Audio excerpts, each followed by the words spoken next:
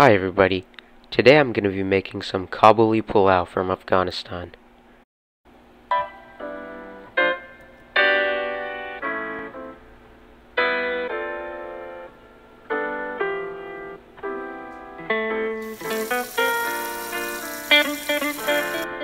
Using ice cubes and saffron. I'll be making saffron infused water. Afghanistan is one of the world's biggest saffron exporters.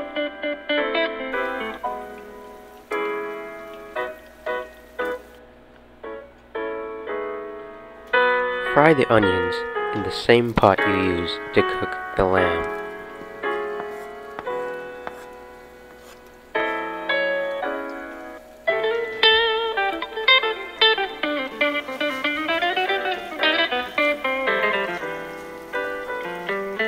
Add garlic, tomato paste, cumin, turmeric, black pepper, salt, and cardamom.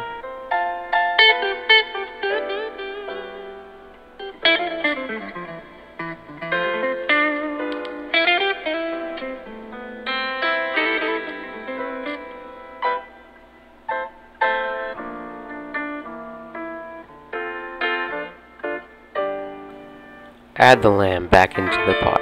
Then, add half of the saffron infused water.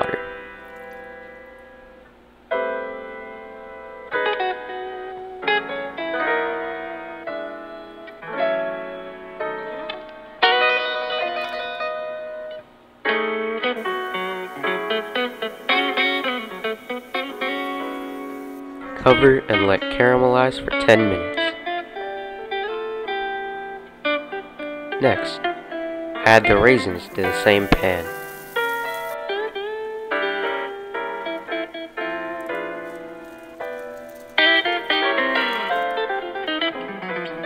Stir the rice to avoid it sticking to the pot. Drain the rice in a colander and then rinse it thoroughly with cold water.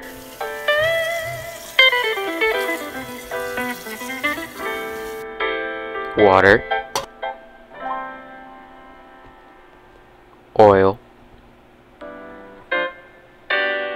fill the pot with enough rice to make a layer on the bottom.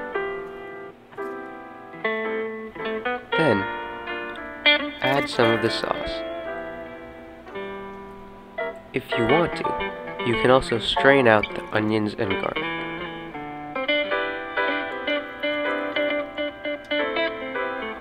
Add some of the carrots and the raisins. Repeat this process for three more layers. Once you've done that, make three holes in the rice while using the back of a wooden spoon.